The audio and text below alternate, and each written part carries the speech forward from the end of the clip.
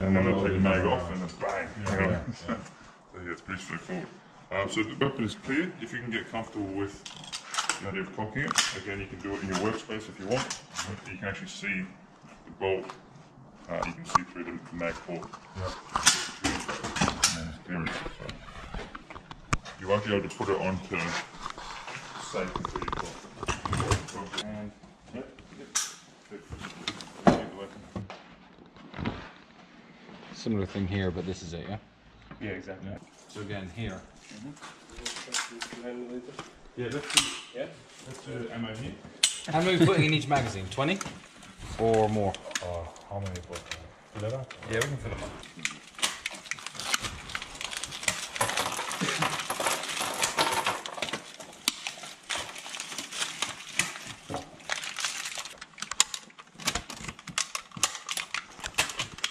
I don't know if it, okay.